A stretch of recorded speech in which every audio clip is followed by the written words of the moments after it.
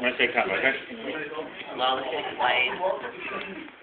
Okay, camera. Okay, what I'm going to show you right now is something called a one inch punch. Now to actually do it first, you do have to get the basics right.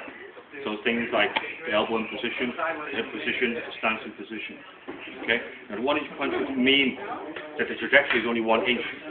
Okay? It starts from one inch, it only travels one inch to get to the target, and it travels through the target. Okay?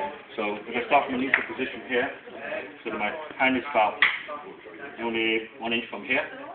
Okay, I haven't got much stance in this position. If I go this way,